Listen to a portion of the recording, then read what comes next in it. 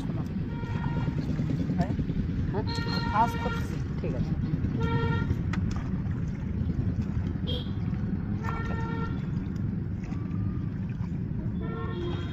যেগুলোতে ফল পাচ্ছি না বেশি। ওই ওই ওইটা দিয়ে তাইলে।